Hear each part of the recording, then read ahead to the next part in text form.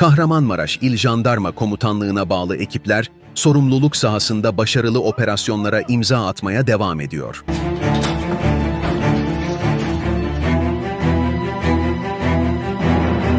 Suç ve suçluyla mücadelede aktif rol oynayan ekipler tarafından aranan şahıslara yönelik yapılan çalışmalarda 17 kişiyi gözaltına aldı. Edinilen bilgilere göre İl Jandarma Komutanlığı ekiplerince aranan şahısların yakalanmasına yönelik kent genelinde yaptığı çalışmalar neticesinde çeşitli suçlardan araması bulunan 17 kişiyi yakaladı.